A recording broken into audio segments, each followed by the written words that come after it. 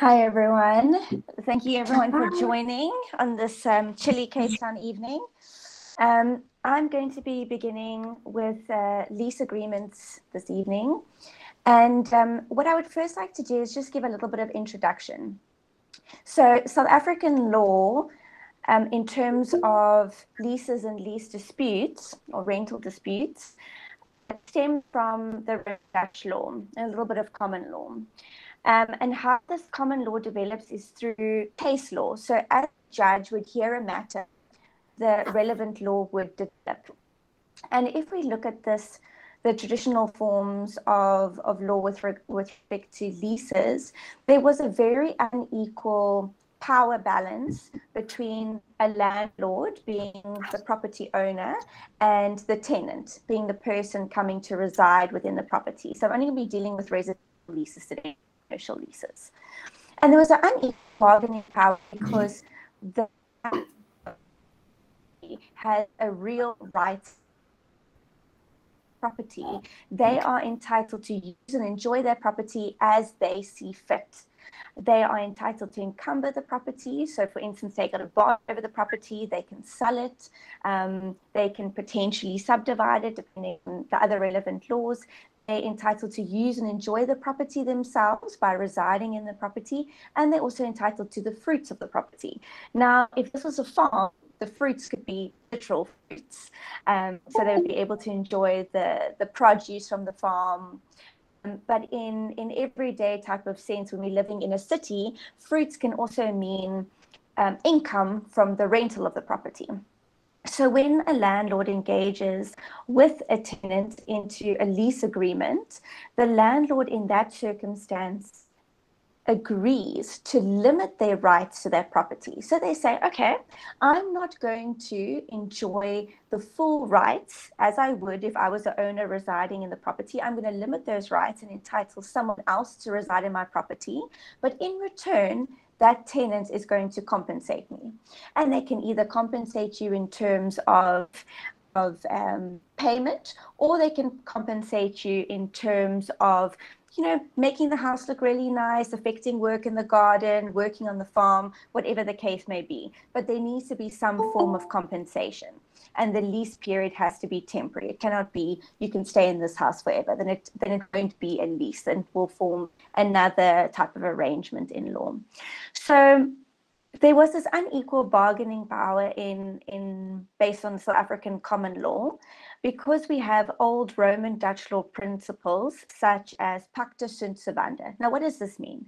This means if the two parties enter into an agreement, those parties are bound by the terms of that agreement, irrespective whether the terms of that agreement is is fair, um, considers the circumstance of the tenant that's irrespective. If the two parties have willingly entered into the agreement, they will be bound by those terms. So this gave the landlord a lot of power or the homeowner a lot of power because they could easily say, if you want my property, you have to accept my terms. If you don't like my, my terms, keep on walking. There's another property for you.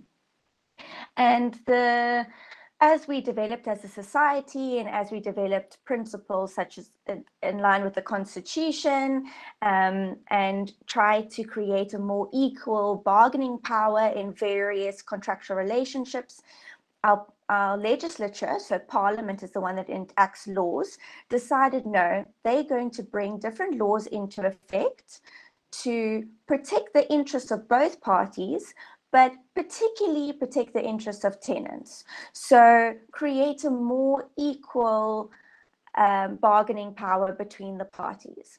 And so in these instances, irrespective what the parties have actually agreed in terms of a written agreement, if that is not consistent with the legislation, the terms in legislation will trump the terms in the lease agreement. And now this is very important um, because often I've seen it's not applicable or that act is not applicable or the parties agree to waive their respective rights you can waive your certain rights in, a, in an agreement, but you cannot waive statutory protective mechanisms. So only if the provisions in your lease agreement are more protective of the parties, more protective of the tenant, then they will they will trump the legislative provisions. But if your lease agreement um, affords the tenant less protection, then those particular provisions will be overridden uh, or usurped by the legislative provisions. So that is that's a progression of where we where why we are where we are today. And now I'd just like to take you through three very important acts. So firstly, we've got the Prevention of Illegal Evictions from Unlawful Occupation of Land Act. It's a mouthful, but we just colloquially refer to it as, as PIE, or maybe not colloquially, but among us attorneys, we just refer to as the PIE Act. I'm not going to go into great detail about PIE because evictions are a whole separate webinar in and of itself, and hopefully this will be one of many webinars to come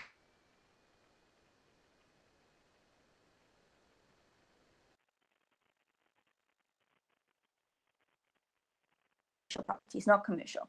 No person may be evicted from a residential property without a court order. The parties can agree to a date where the tenant vacates, they can reach a settlement, but no landlord can come there or homeowner can come there and physically remove this person from the property. If you want to get the sheriff involved, if you want to get the police involved, they're all going to ask you, where is your court order? Right. Then the next two acts are the ones I really want to focus on today. That's the Rental Housing Act and the Consumer Protection Act. So in terms of the Rental Housing Act, I've picked out a few nuggets which I feel are really important. So firstly, the Rental Housing Act places a responsibility on the landlord. I'm going to refer to as the landlord, um, but what I mean by that is also the, the homeowner. Um, so the homeowner would obviously consent to the premises being leased out, whether that's by an agent or by another um, authorized party. So I'm going to just refer to the landlord going further. They have the responsibility to reduce the lease to writing. So in South African law, oral contracts are valid contracts. But the issue is when there is a dispute, it becomes a he said, she said scenario. And then we end up going to court and we're having to allege all of these terms of this contract that was entered into. And it can be really difficult to prove sometimes what was actually agreed between the party unless it is reduced to writing. So the Rental Housing Act tries to prevent all of this and says for the protection of both, both parties, there's a responsibility on the landlord to reduce this to writing, to reduce a lease to writing. So that's point number one. If you are a tenant currently and you've got a verbal lease, go to your landlord and say, I want my lease in writing, please. So, so that's point number, little point number one, little signal number one for, for this evening's discussion. And then secondly, receipts. It places an obligation on the landlord to provide the tenant with receipts for every amount received. So whether that is the deposit that's been paid, whether it's the monthly rental that's been paid, whether that is municipal accounts that need to be paid, whether it's arrears, whatever the case may be, the landlord needs to provide the tenant with receipts. And the Act goes into really specific detail about what should be in those receipts. But in a nutshell, just needs to have sufficient detail, needs to stipulate which premises, which property are we talking about here? What's the lease property? Um, what date was the amount paid? How much was paid, and then respectively, what is that amount being attributed towards? Is a portion towards December rental, um, a portion towards the municipal account for December, um, and then potentially a portion towards arrears from the previous month. And that will have to be stipulated uh, in the invoice. Um, and then as well with regards to deposits, the landlord must obviously provide the tenant with receipts for deposit. And any time during the lease, the tenant may request that the landlord provide an updated um, receipt with respect to the interest, because the deposit that is paid over to the landlord is actually still the tenant's money in essence until the lease comes to an end until it comes to an end either for termination or cancellation the the money invested in terms of deposit is still deemed to be the tenant's money. So there's a responsibility on the landlord to invest that money in an interest bearing account. And he needs, he or she needs to provide the tenant with proof of such investment. And at any time during the lease, it might be six months into a two year lease, the tenant might say, Hey, landlord, you know, my, my deposit was 5,000 Rand. We're now six months in. Please give me an update on, on what the money is in my in my account. And then the landlord will have to then get a bank statement. Some people open up separate bank accounts for every tenant. Other people enter into different types of arrangements but it must be clear which money is set aside um, for for for that tenant. And then what's really important is that the rental housing act creates an obligation on the parties to enter into a joint incoming and a joint outgoing inspection when it comes to lease agreements. Now, this is very important. I cannot stress this more. Before the parties actually before the actual commencement of the lease. It might be on the day that the lease starts, or it might be a few days leading up to the lease starting. The parties must conduct a joint incoming inspection. So, what's joint? What does joint mean? Joint means that either the landlord and the tenant must be present, or a representative of either party must be present. The landlord cannot do the inspection by themselves, the tenant cannot do the inspection by themselves. Both of those parties need to be represented for it to be joint. And what is the purpose of this inspection? How, how do we go about it? So, firstly, before I get to the purpose, how do we go about it? The party should walk through the premises together and go into every room, notice, look in the cupboards, look at the walls. Where are there scratches? Where are there cracks? Where are there chipped tiles? Is everything working? Do the light bulbs work? Uh, does the oven work? Really do a thorough, thorough incoming inspection. Reduce this to writing in a report. There's also some amazing apps that you can use these days that actually takes photos and you can write notes. Um, and taking photos is obviously really helpful, whether it's in terms of an app or even just on this on your phone. And then for both parties to just then, after the inspection has been done, both parties to sign to confirm this was a true set of, of set of facts. And that will be your incoming inspection. What is the purpose of this? The purpose is not to put an obligation on the landlord to affect all these changes. It doesn't mean, okay, landlord, unless you affect all these changes, I'm not moving in as a tenant or I'm not paying my first month's rental. No, no, no, no. The purpose is to ascertain what was the condition of the property when the tenant moved in. Right. Why is this important? This is important because there's an obligation on the tenant to maintain the property internally for the period that they're in occupation of, of the property. Um, every lease is slightly different about what is expected, but all of them we can summarize as the tenant usually has an obligation to hand back the property to the landlord in a similar condition as what it was received. Now, this is safe for fair wear and tear. We all understand that certain things, you know, have a have a lifespan. But even in terms of light bulbs, most most leases say it's responsibility of the tenant to replace light bulbs, to clean the carpets, if there's scuff marks on the walls, to have the walls repainted, etc., etc. So the importance of the incoming inspection is to say, tenant, this is how you are receiving the property. And then just remember, when the lease terminates, you need to hand back the property to me in a similar condition. Right. So that is the purpose. The but on the point condition of the property, unless the parties have agreed, okay, the landlord says it's fine, I can see that isn't working, I'll fix it up for you. That's the story.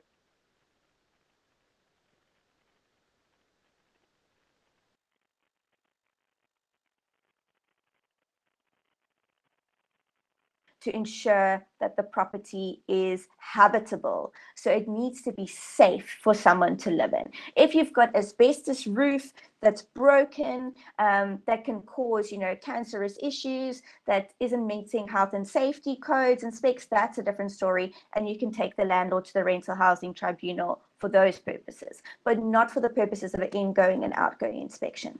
Okay, then when, when do you do the outgoing inspection? The outgoing inspection should take place within three days of the lease terminating, right? So most people do the outgoing inspection on the last day. The reason for this is you do the handover the keys, you walk around, at that stage, all the boxes are packed up and your furniture is packed up. It's a little bit challenging to do an outgoing inspection when a house is still full of things and you can't really see the tip the tiles and the scratch and this nick and that.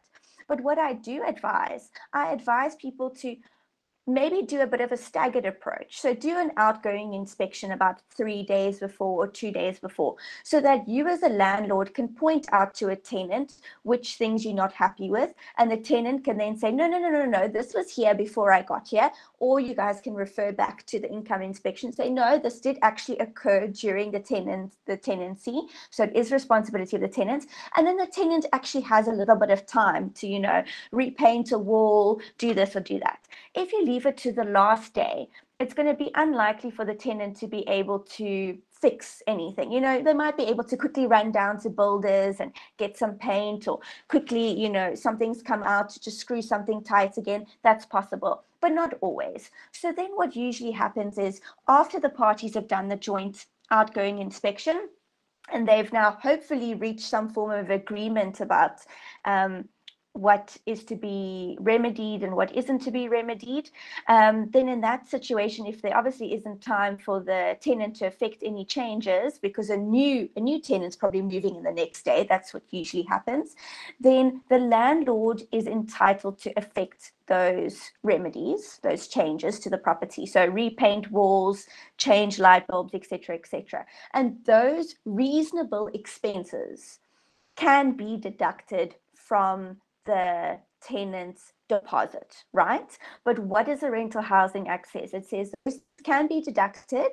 However, the landlord needs to provide the tenant with proof. So we need to see slips from from builders warehouse. We need to see an invoice from painters or invoice from a cleaning company because the tenant didn't uh, clean the the premises to the to the standard of the landlord. So it needs any deductions need to be supported.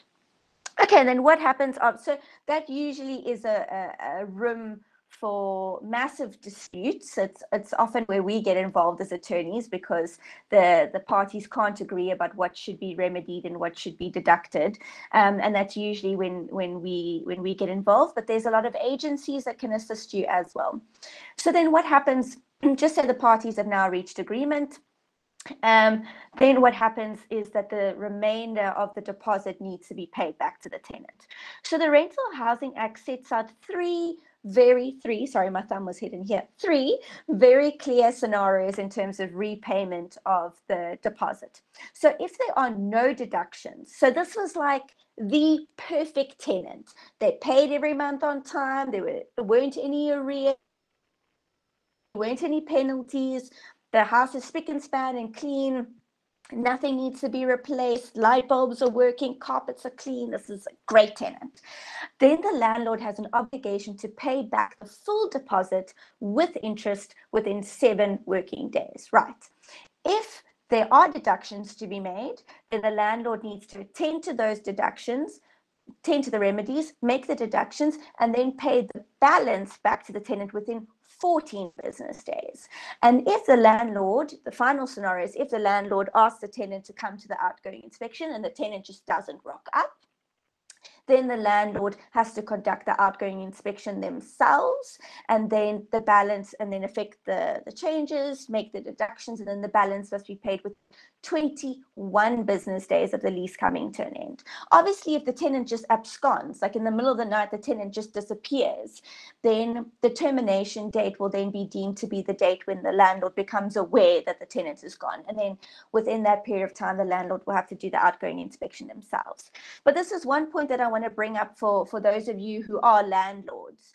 Um, you have to do an incoming inspection. You have to.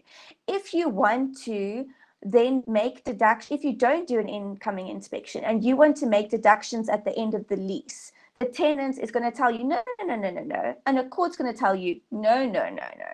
You cannot make these deductions because how can you prove that these defects weren't there at the beginning of the lease? Because you've got no document to say this is the condition i handed over to the tenant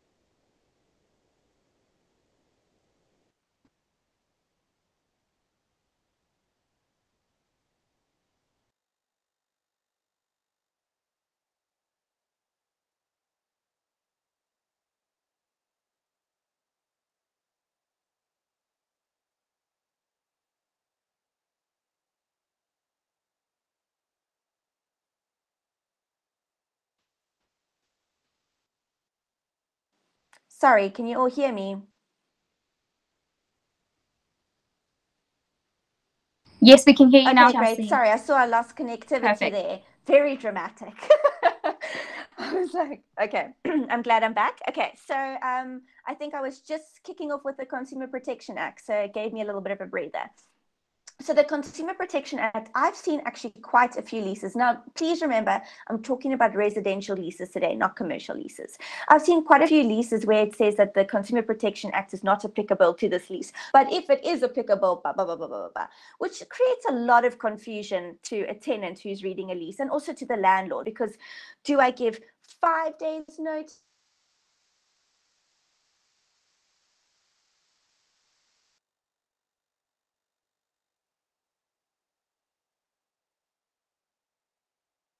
Incorporate that into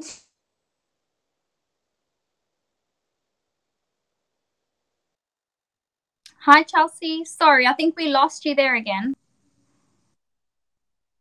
in general, the Consumer Protection Act will be applicable to residential leases.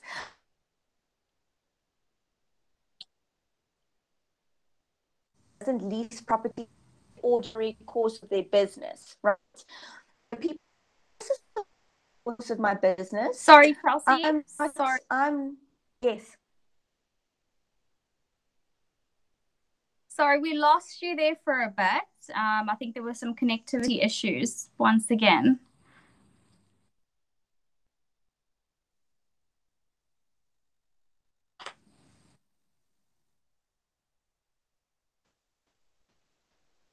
Hello? I can hear I can hear someone back. Is it better now? Am I back and connected? Much better. Much, much better. Okay, great. Welcome back. Thank you. Just give me one second.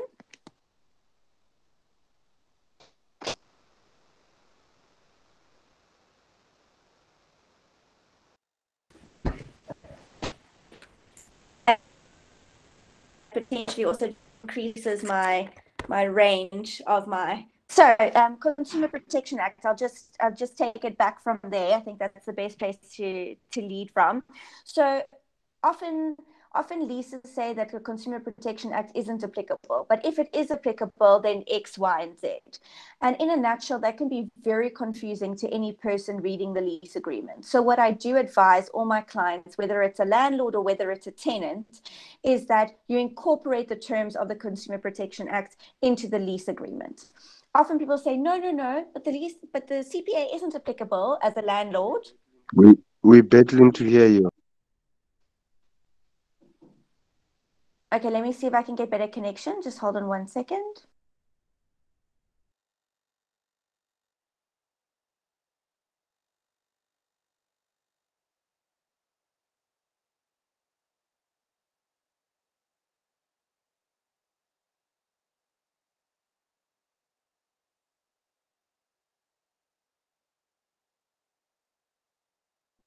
Um, just a few housekeeping rules. Just a reminder to please ensure that you all switch off your mics and your cameras.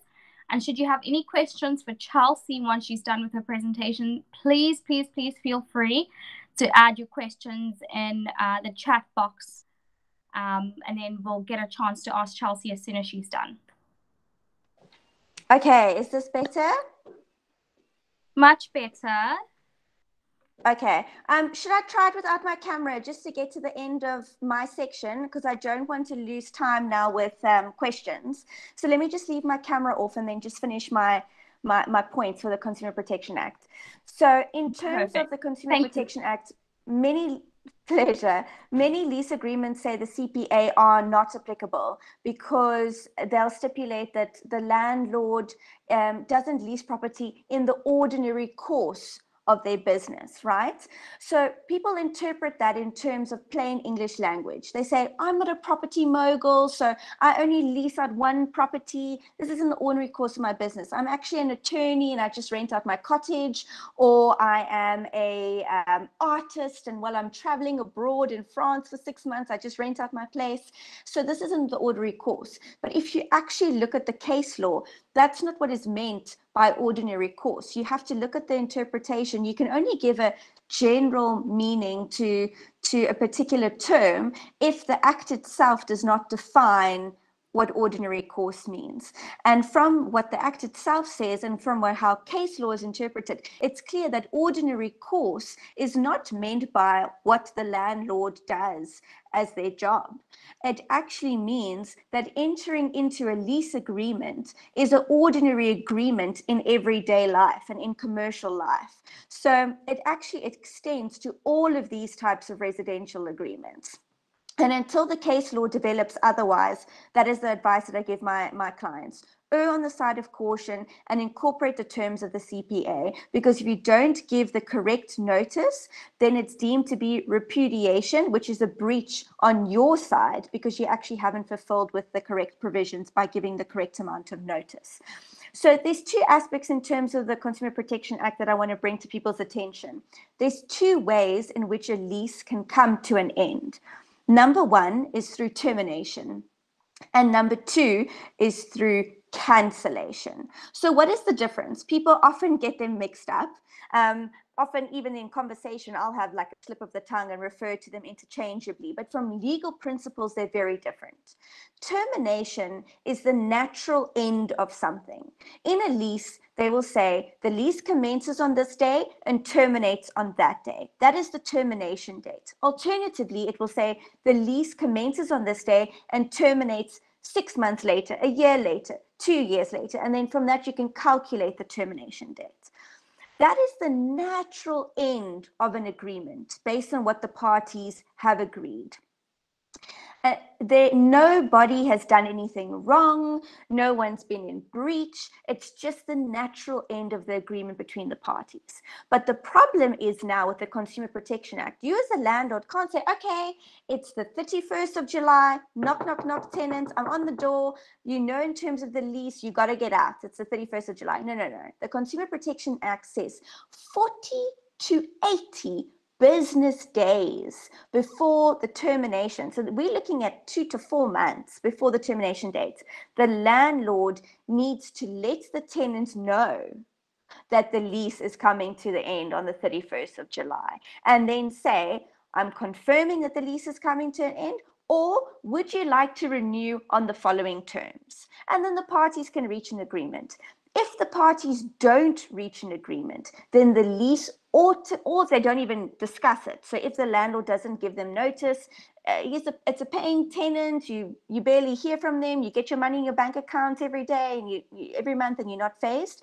The lease then, after the termination date, will automatically renew on a month-to-month basis, and then either party can give the other party one month's notice of termination. Right. So that's termination.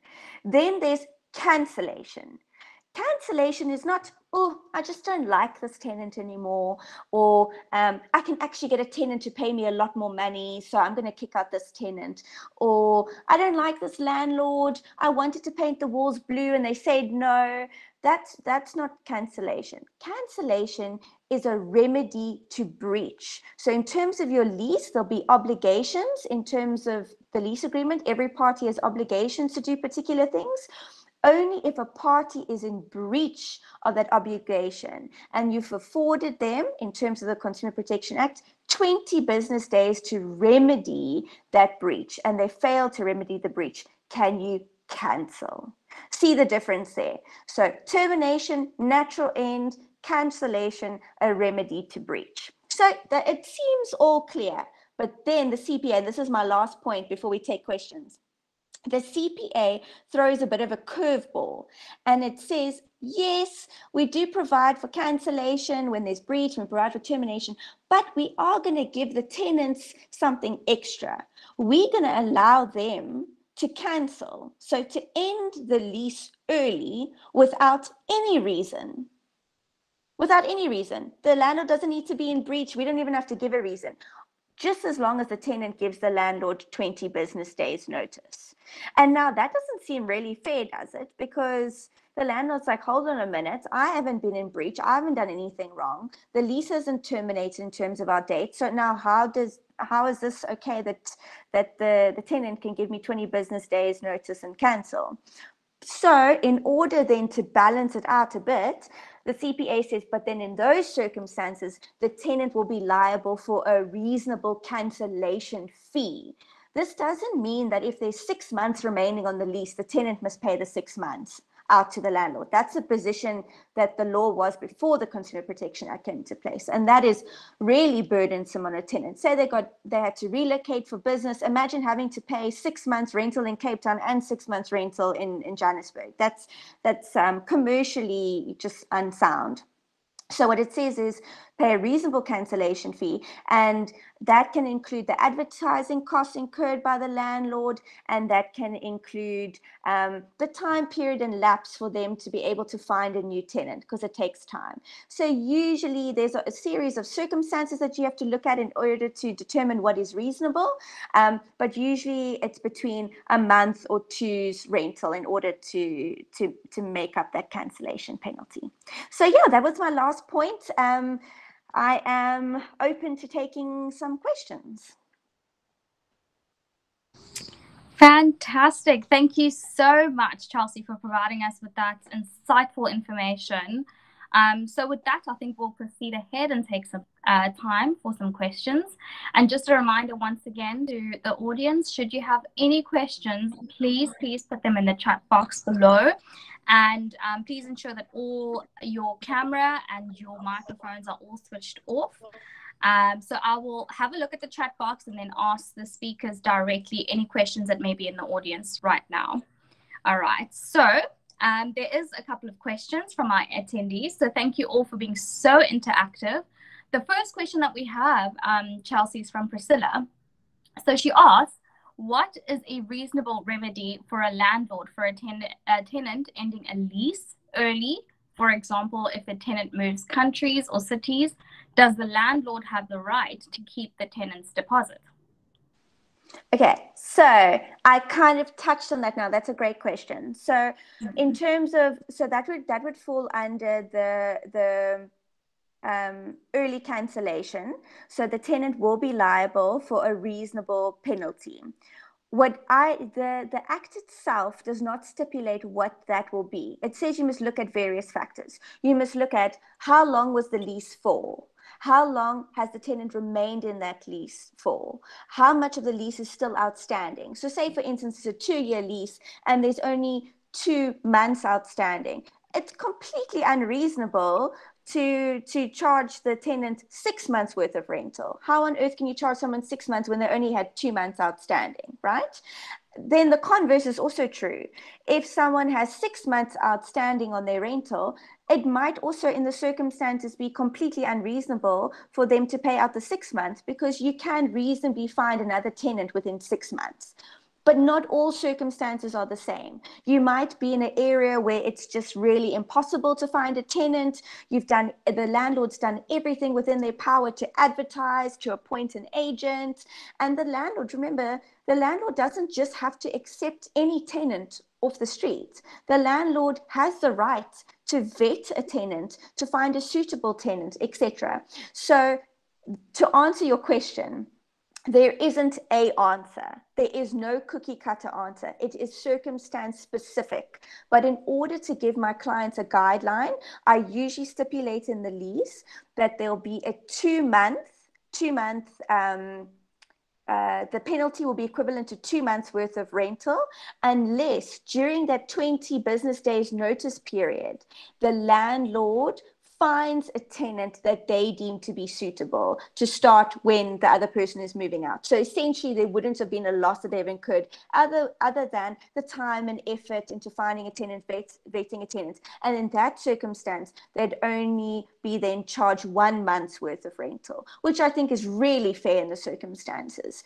Um, and then technically, what should be done is you should be able to deliver an invoice to that tenant to pay that rental, but often the tenant will then just disappear. So that's why it's so important to keep a deposit. Yes, in those circumstances, you would be able to deduct that then from the deposit. But I also make it very clear when I draft leases, I am very clear and specific what the landlord, if I'm representing the landlord, what the landlord may deduct from their deposit so that there's no room for, for error and conflict. We try and avoid that as much as possible. Otherwise, your options are to refer the dispute to the rental housing tribunal or to go to court.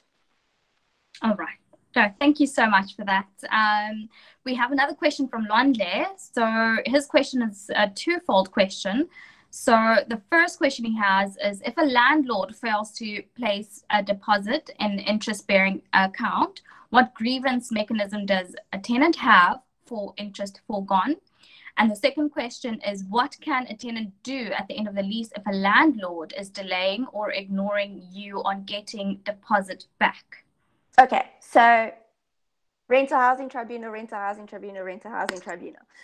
so the rental housing tribunal is is a um, is a mechanism. It's a it's a adjudication forum that anyone, any landlord or tenant can approach to lay a complaint.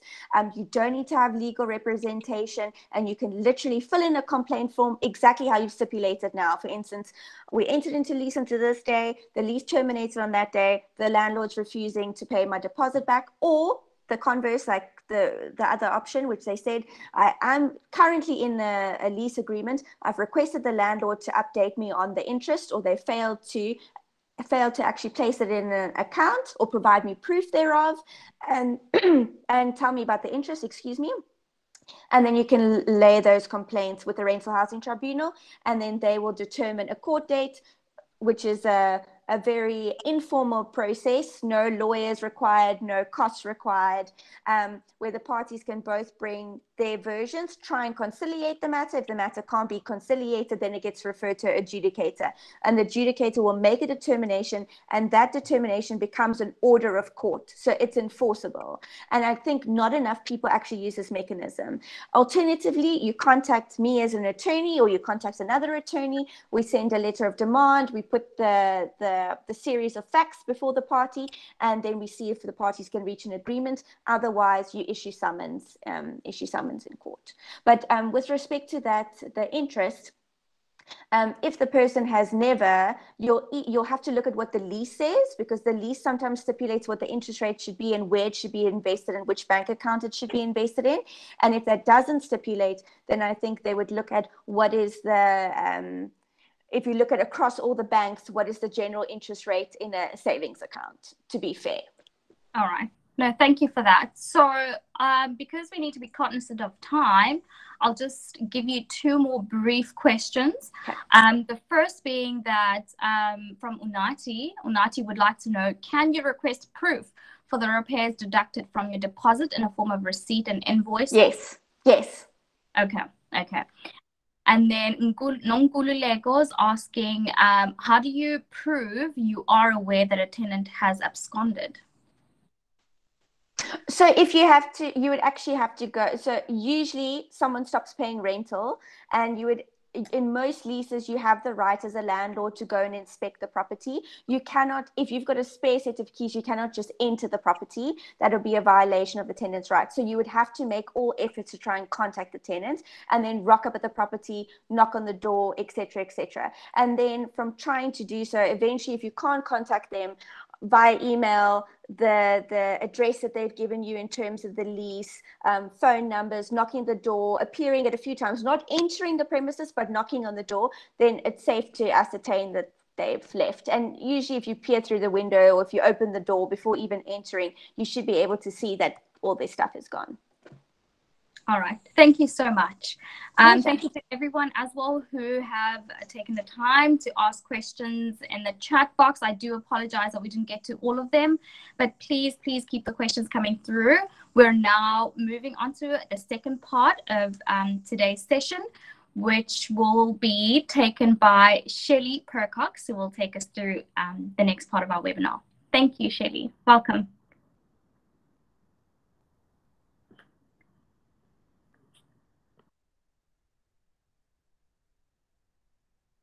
Hi, Shelly. I think you're still on mute.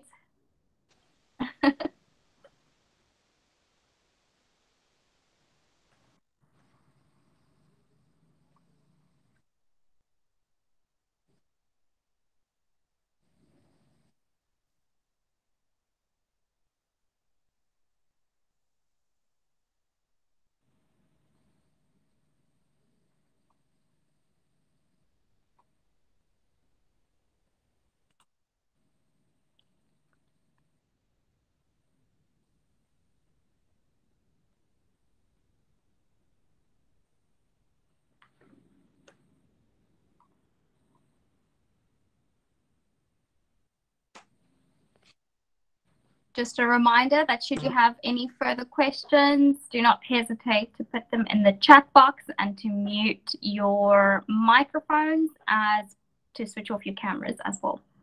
Tigafata, um, uh, if you do have any more questions for me, I can take your questions along while we're waiting for. Oh, they're back on. Okay, it's great. Oh, there he goes. All right, thank you for that.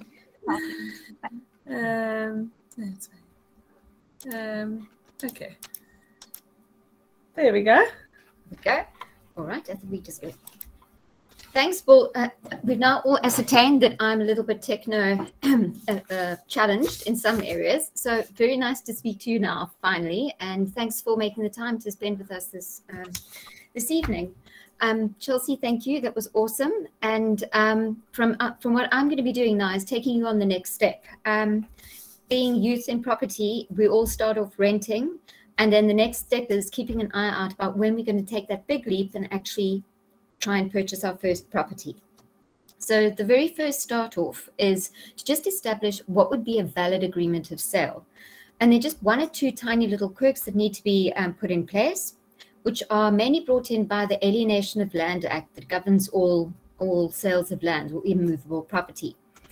Firstly, the agreement must be in writing. So if you verbally agree with somebody to buy and sell, that's not going to cut it. It has to be a written agreement and it has to be signed by both parties, purchaser and seller, with, with what we call wet ink, which means no digital signatures of any kind. It actually has to be physically signed.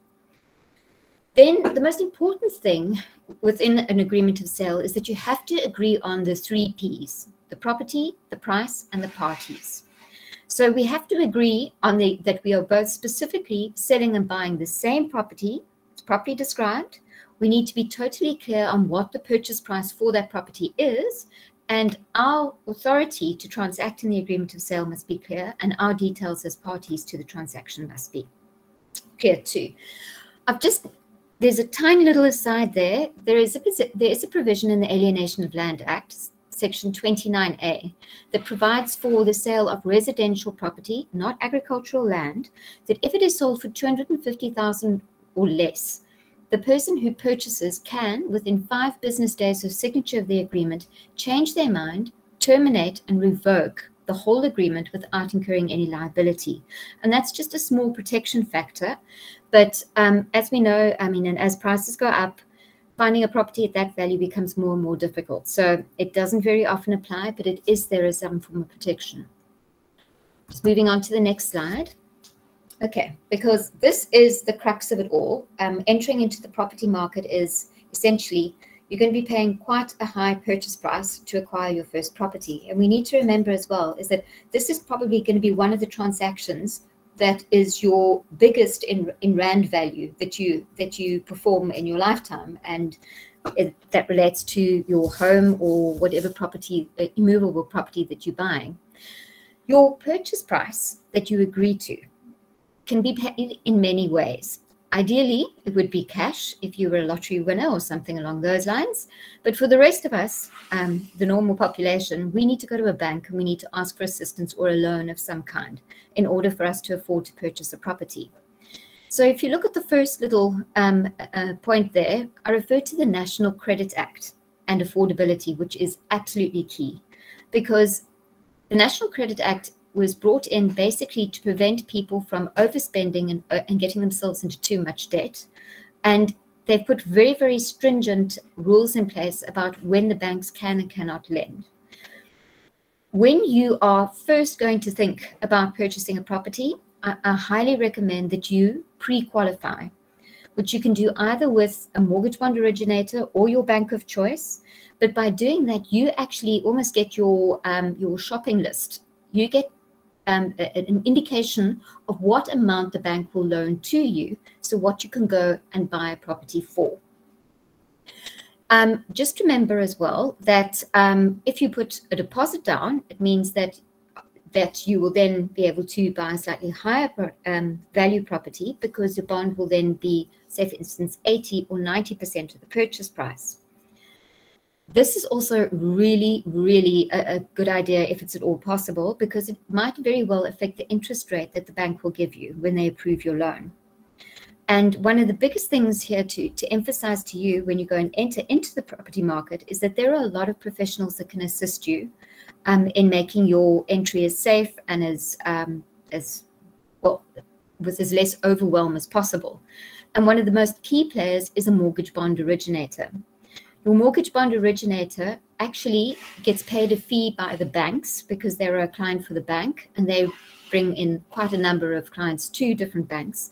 You fill in one application form and they will submit to all the banks across the board and they normally will get you a much better rate than you would do by applying directly to the banks yourself. They will also be able to pre-qualify you and um, this is exceptionally handy and they really make the process a lot easier. So really, um, the, and there are a number of companies, if you go through an estate agent, they normally do have somebody that they work with quite closely. Very, very handy person. And this service is levied to you at no additional cost. So that's important to remember. The last little point that I've got under the heading of paying the purchase price is in time, after you've purchased your first property and then you decide it's time that your bachelor pad is a bit too small because you're thinking of tying the knot or doing something exciting like that, you could then use the, the proceeds of the sale of your property to buy your next property or to buy a bigger or more expensive property.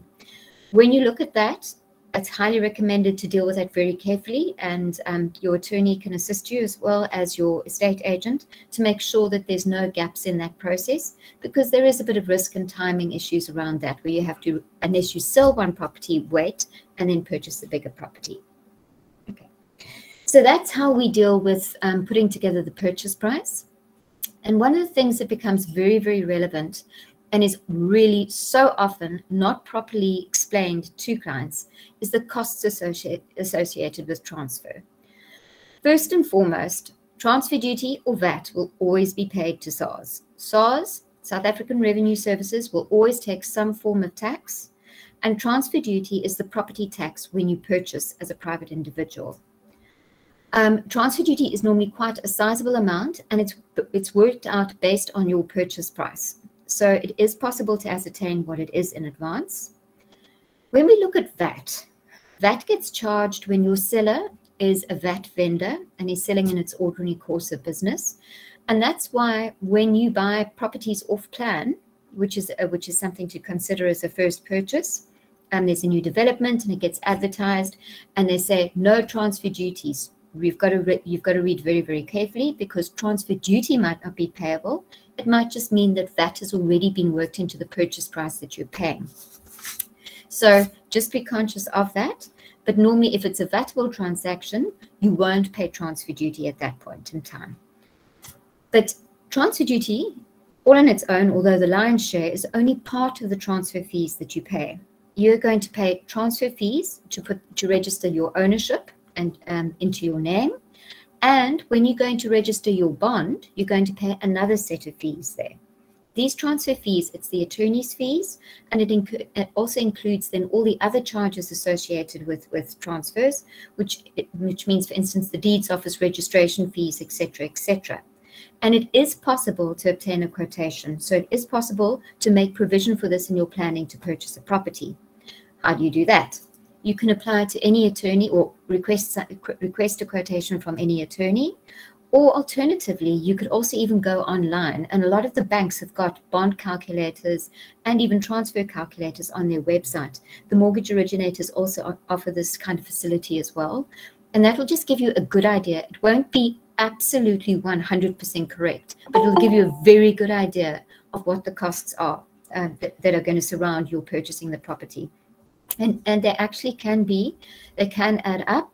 So i really recommend that you you make the time and effort to go and have a look at that so that you know and you don't get any unpre- unpleasant surprises. That however being said there is a tiny little bit of ray of hope um, because as a first time homeowner you may qualify for what they used to call a 108% bond or which means a bond that has a provision in it for costs as well. Um, and this is this is phenomenal. It does mean that you are going to be paying those costs over a long period of time. But where it becomes prohibitive to get into the property market because of the costs associated in buying a property, this is a wonderful mechanism to use. Your mortgage originator will also be able to give you lots of advice about that. And what it just means is that those funds are available and they will be paid out when your bond registers. And your bond will register when your transfer registers and you become owner. That means that there is a tiny portion of time where you might have to fund payments that need to be paid for instance, transfer duty, which needs to be paid in advance. Um, so just be aware that just be careful and discuss this with your, your bond originator because normally, as I said, there is transfer duty that will need to be paid as part of the, the process to put the property into your name, but that will only be refunded to you when it gets registered right at the end. So um, when we pass, when we register a transfer, we've got to prove to the deeds office that all the other gov government departments have been paid so we've got to give proof of payment of transfer duty, which is the property tax, and proof of payment of all municipal charges as well, which is, all, but that normally we collect from the seller. So, um, but we have to provide with proof that all other government departments have been paid before we'll be able to pass the transfer into your name. So, okay, that's a mouthful. But the last little point over here, installment sale agreements, is something that is only as a very, very last resort. It's not often um, entered into because by its nature, there is a lot of inherent risk. But in certain circumstances, you might, the, uh, the Alienation of Land Act provides that you can pay over your purchase price installment, where it's in two or more installments over a period of more than one year by virtue of an installment sale agreement that knocks on a whole lot of, of um, consequences and it's a very specific transaction. Um, you, you need protection as the purchaser to, and you still need to pay your transfer duties as well. And this protection needs to be given to you so that the seller doesn't sell the property when you've paid off half of it or something like that. It's not an ideal solution, but it is possible in the event that it is absolutely necessary. Right, so moving along. What about the property that you're purchasing? Um, the first thing, and it sounds very much like Chelsea's, uh, like Chelsea's um, advice to you as well, is inspect the property, inspect the property, inspect the property. Right. It's quite bizarre that um, that it's stated that most of us spend less time and we fall in love with the property and we want to buy it straight away than we would take making a much smaller purchase of another nature. Even if it's down to buying a pair of jeans, we spend more time realistically looking at a pair of jeans or a car or something else as opposed to we walk into the property and decide this is where we want to live. It's so important to inspect there is an inspection and a disclosure form which might be attached to the agreement, which is filled out by the seller to sell to say, I'm not aware of any leaks, I'm not aware of this, I'm not aware of that. That disclosure form is only to the best of the seller's knowledge. Um, because he can't, the seller can't give you information that he doesn't know. It's, and it doesn't release you as the purchaser from the responsibility to, to carefully inspect the property and to make sure that it is in the order that you that, that you are happy with. There is such a thing as a voetstoots clause, which says that the property is sold as is, and that still does apply to some uh, to a large extent because if there is something that is paid that is and it talks about latent and patent defects. If there is a defect that you really and reasonably should have known about and seen, you can't you can't um, then rely on on the voetstoots clause to say that the seller didn't disclose it to you. So take it seriously and I mean, and take it slowly and inspect because in your agreement of sale, you can always request the, the seller to either correct certain items before registration of transfer, or you can use it as a negotiating tool to say, I'm putting in an offer for X amount because I'm going to need to spend this amount of money to replace the roof or whatever else it is. So inspect, inspect, inspect. This is a big purchase and it's going to be for a long period of time uh, last point there is that you also have the right to actually get a professional to inspect as well. And that's also something that's not, um, that's also something to consider. And especially if um, you look and you perhaps suspect that there might be um, damp or something like that, and you might have a concern about the roof or something like that, uh, you can then uh, you can then have an, a, a, professional come in and give you and give you a report um, on that property, and that would normally be for your own account unless you agree otherwise. So now that we know that we have to pay quite a bit of attention to our property, I just wanted to make another point about private sales versus a sale that's concluded with an estate agent. Um, often I know, or I mean, very often, we find that that properties get sold where people aren't aware that it has to be done in writing, and somebody sells to them who honestly sometimes and maybe dishonestly other times holds himself out to be the owner of the property for instance, they've inherited the property and now they want to sell this property onto you, but they've never taken a transfer of the property in terms of from a deceased estate, or they've never property, properly concluded an agreement of sale, and they're not the they are not the registered owner of the property. As I say, this can be completely by mistake or not but it creates a very, very, very big problem for you as purchaser. And the transaction takes a long time to unravel and put together again and put back together again. So in those circumstances, it's always a good idea to verify the ownership.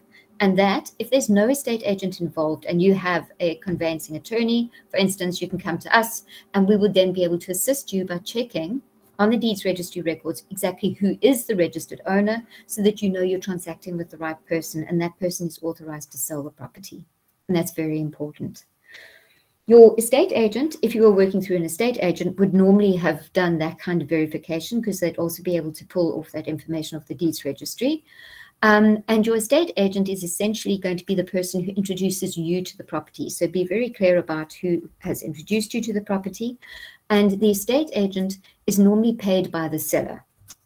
And that's normally included in the agreement of sale because the seller normally picks up the bill for the commission. Okay. Last but last point on this as well, regardless of whether it's through an estate agent or private agreement of sale, if you have a conveyancing attorney, for instance, like with us, we bring it to us, we will vet the agreement for you because there are sometimes provisions in there that can be quite onerous and it's always a good idea to understand as much to understand the agreement before you sign it. Um, we'll do this for you gladly. Okay, right. So the next thing, moving on about the property, is that broadly speaking, there are three types of property. You have farms, you have urban, which are your normal freestanding houses in sort of in suburbia, and then you have sectional titles. And I just wanted to say just something very short and um, hopefully to the point on sectional title properties, because this is normally where you're going to start out as a first time homeowner. I think that's kind of the, the rule of thumb. Because what you do when you buy into a sectional title scheme is you buy a part of a building and a share in the land that the building is built on. Okay, you automatically, as an owner, become what they, what is called a member of the body corporate. Body corporate is just an association of all the owners of all the different sections in the building, and um,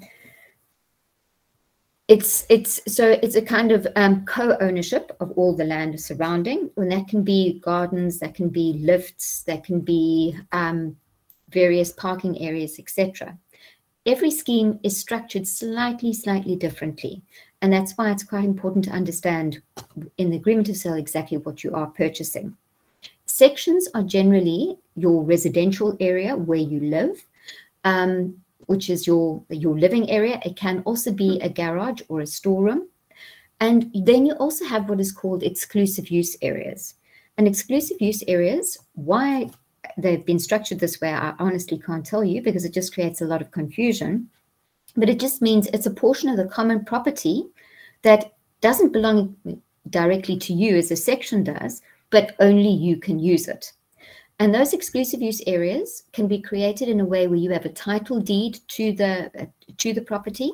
That's going to increase your costs slightly when you take transfer because a new deed has to be created. Or it can be created in terms of the management rules of the scheme, which means everybody has agreed that that parking bay is just for your use. So those exclusive use areas are, are very important and it's important to understand what you are purchasing. Okay. Um, I'm just going to skip right down to the, the last point there because it's absolutely fundamentally important that if you're buying into a sectional title scheme, you have you have a set of the rules of the scheme. There are normally management rules and conduct rules, and those are going to be very, very important to determining how you enjoy your stay. For instance, um, you know, if you are a, a pet owner, um, make very sure that your cats can move into the, the scheme with you because a lot of the schemes say that there, are no animals allowed. So it's very important to familiarize yourself with conduct and management rules. The management rules will show you if there are any particular bays and parking bays and exclusive use areas that are, are designated for your, for your use. So very important. And then also financials. A lot of the banks want to see your body corporate financials because there are situations where body corporates can be in financial difficulty and then that becomes uh, becomes by association your problem when you become a member of the body corporate because it might prohibit you from finding a buyer when you need to sell. So it's always good uh, it, it always very good practice to make sure that the the financials are up to date and that the body corporate is solvent that you've got the rules of the scheme so you understand the the terms of your it's almost like a lease agreement it's like how you're going to live alongside all the other members and all the other owners in the scheme. Just another last little note.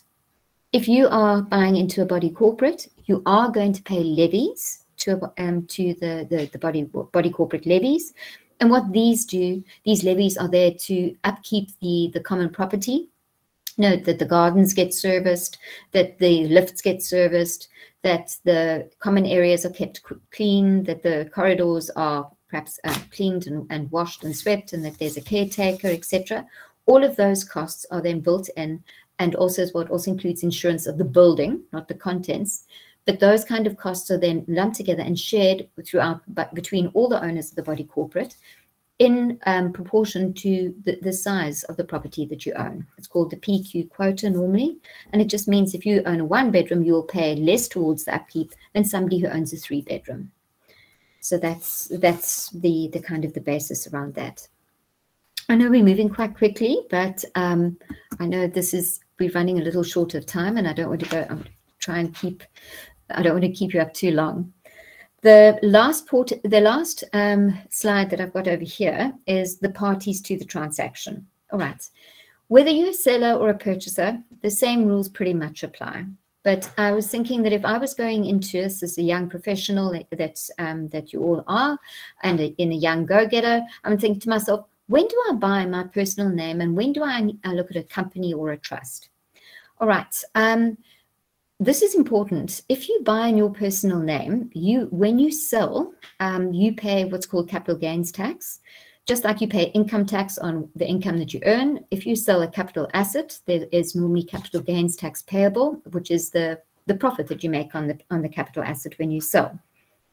If it is your primary residence, you're entitled to a nice rebate, which means that you probably won't need to pay capital gains tax. And that's really quite um, an attractive proposition, especially when it's your first, first home that you're buying. But as you go along and in time, it might you might consider using a company because a company essentially um, will allow you to separate your assets. For instance, if you own your own business, um, and you are concerned about the fact that you might have to stand surety for the business and be exposed um, for, for solvency issues in a business um, setup, you might want to then make sure that your properties are held by a company or a trust to keep them safe because they're held by a separate legal entity. A trust is also a very good long-term estate planning tool. But then once again, when you're starting out, that's something that you can look at at a later stage because uh, trusts and companies are taxed at a higher rate than what you as a, as a purchaser would be taxed when you sell um, and also uh, for capital gains tax purposes. So that is almost like an down the line provision unless you are involved and working in your own business and feel that you are exposed uh, potentially to solvency issues, in which case then you might need to consider that a bit earlier. All right. So if you are an individual and you are going to be um, purchasing the property, what the, the various options here, basically it, it revolves around marital status. If you're unmarried or divorced or widowed, you would be then classified as single and you would be able to purchase the property in, in your own individual name. Um, if a, a, divorce order or a death certificate is only really necessary when, I mean, this is if you previously co-owned um, the property and you're now selling the property. So that's not something you would need to be too concerned about. Um, a civil marriage in community of property or out of community of property. This means just it's a, it's a court well, it's a legal court approved marriage as opposed to just uh, was opposed to just a religious marriage. In community of property is where there's no antenuptial contract concluded, and this means that you and your spouse are co-owners of everything. So it means that you and your spouse would have to buy and own the property together. If you conclude an antenuptial contract with a notary public before uh, you get married, very important that, you are then married out of community of property. And this means that you can own the property in your own personal capacity without involving your spouse. It could also be if you married out of community of property, you can still buy together, but then you each own half shares in the property. You can operate independently. Um, we, there are, of course, religious marriages as well, which is traditionally Muslim or Hindu rites, and they're described as such at the deeds registry. But they have the effect of, of essentially being unmarried or married out of community of property, in that each party completely uh, deals separately with properties and there's no community of property created at all. Um, just on that note, it's quite interesting that there's a recent um, uh, uh, constitutional court case, which was the Women's Legal Center Trust versus President of RSA and others.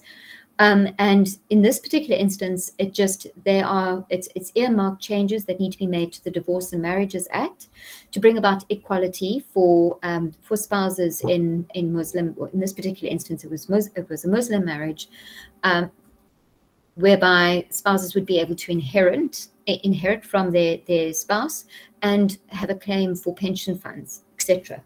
Um, so the legislature is going to have to make some changes in the future. So we need to keep an eye out on that um, because the idea there is to bring everybody and give everybody the same kind of rights, regardless of the form of the marriage that they've entered into.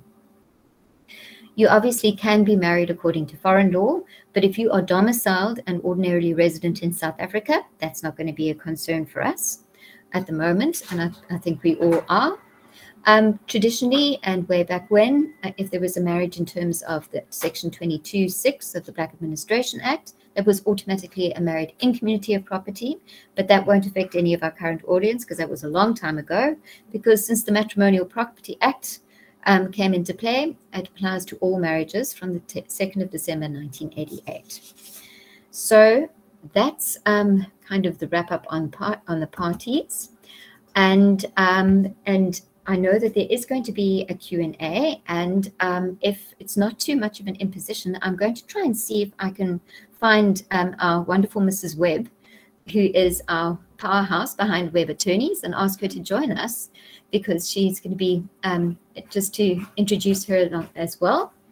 And um, and then we can take Q and A. I realize we have we have um, gone over time slightly, but um, we will take your lead um, just as to how long we do have. Okay, and the, this is Melissa Webb of Webb Attorneys, our wonderful. Hi, everyone. So I think let's lead with questions and we can mm-hmm. answer the questions jointly. That'll be wonderful. Fantastic. Thank you so much, Shelley, for all the informative advice that you have provided us with today. Um, so, with the questions, I'll start off with the one that Luande has posted on the chat.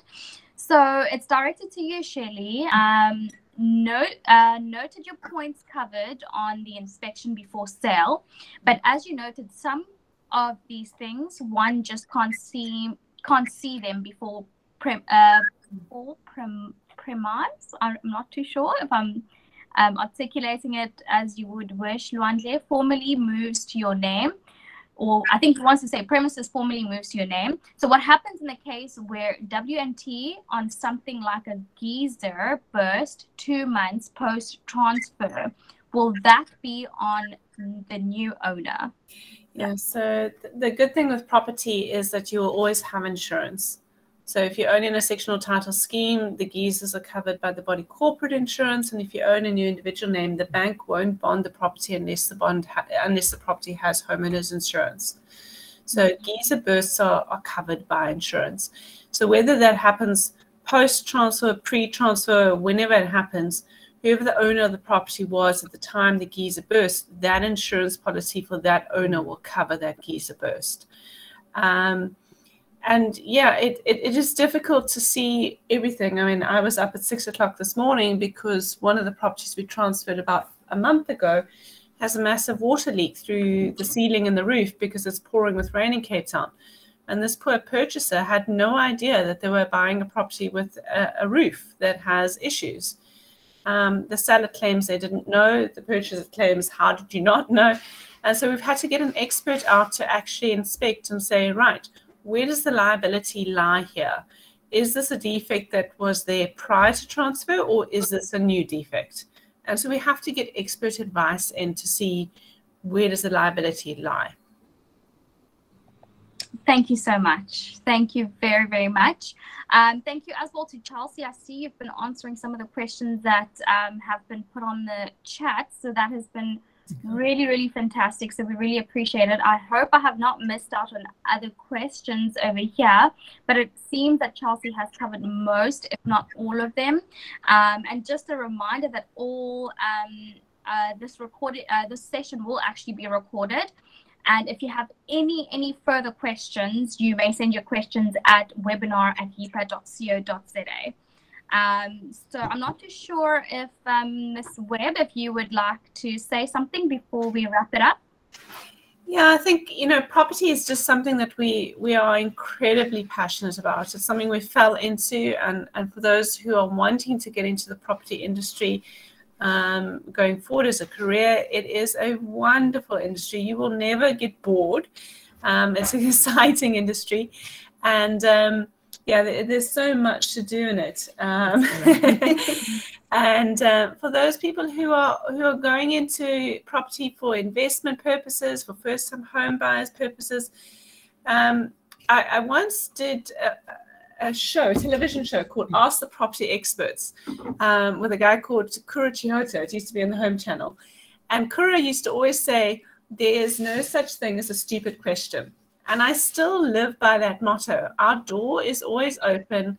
Pick up the phone, phone us. There is no such thing as a stupid question. We want to see people enter into the industry. We want to see people enter into the market we want to help you. We want to be there for you when you buy your first home. Um, it's not possibly not going to be your forever home, but let us help you with the journey and let us guide you. Thank you so much. Thank you very, very much. So I think then it's uh, time to wrap it up. So to our audience, thank you so much for your patience. I know that we have run over a little bit, but we are so, so grateful that you have joined us today for this webinar. We certainly hope that it has been incredibly informative and insightful in many ways. And uh, on behalf of YIPA and Webb Attorneys, we appreciate you all for being here. And we will see you next time. And if you have any further questions, we do have our various social media platforms on the um, slide that is currently up right now. And uh, excuse me, do follow us on our various social media platforms and uh, send through any further questions at webinar at yipa.co.za. So from us, thank you all so very much and have a great evening.